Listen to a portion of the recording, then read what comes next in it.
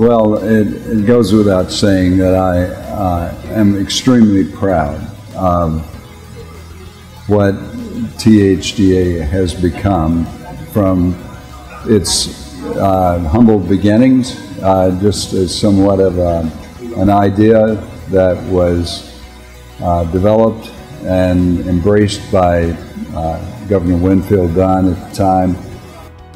As I recall, things moved relatively smoothly. Yeah.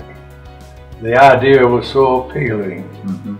and there was such a logical, logical reason Mhm. for wanting to move in that direction. Yeah. It was someone else's idea, but it was one that I embraced and that uh, has turned out to be certainly something I'm very proud of. Yeah.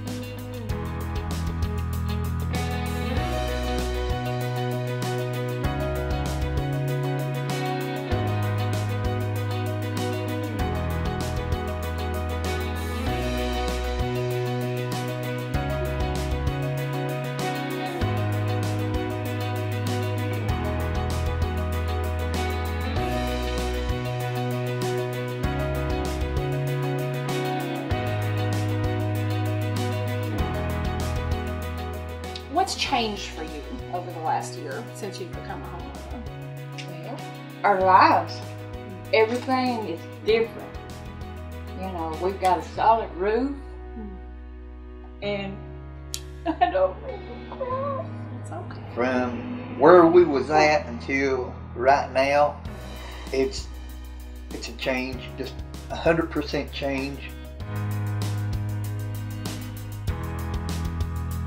Hi, I'm Lemier, and I was once a recipient of the Family Self-Sufficiency Program. This program through THDA helped me become self-sufficient. I was able to set goals, I was able to go to school, I was able to become a homeowner. Having a hand up and not a handout helped me to get where I needed to be to be able to make sure that my family gets where they need to be. The Family Self-Sufficiency Program made a way for me, and I thank you guys.